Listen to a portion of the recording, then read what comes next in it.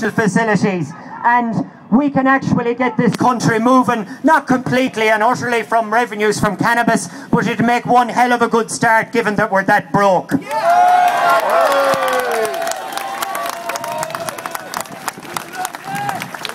When the Misuse of Drugs Act was brought in here in the 70s, the idea behind it was, well, if it was going to be a success, was that drugs would become less accessible and cannabis would become less accessible. It also, apparently, the aim of it was that people would be less likely to take them and that the price would be driven up and no one would be able to afford them. Well, the reality is, 30 years nearly later, it has been proven without doubt that they are attempting to enforce the unenforceable.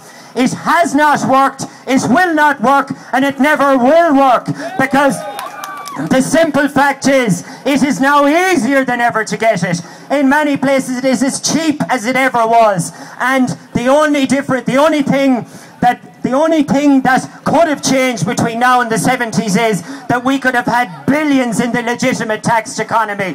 People like Veronica Guerin would still be alive and we wouldn't have as many heroin problems in this country.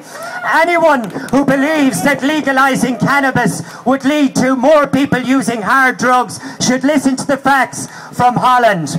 According to the Trimbos Institute, a psychiatric think tank in, in the Netherlands or in Holland, an organisation that carries out a survey of 5,000 people every six years. According to their survey, Dutch teenagers, less than one in a thousand of them experiment with heroin in a country where you can openly buy cannabis. The figure for Ireland is 1 in 60. So if you are a concerned parent out there and you, you want to make sure that your child is 90% less likely to try heroin, legalise cannabis now!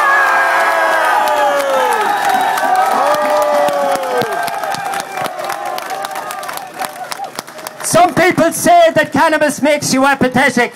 The only thing that cannabis ever made me apathetic to is bullshit. Thank you very much.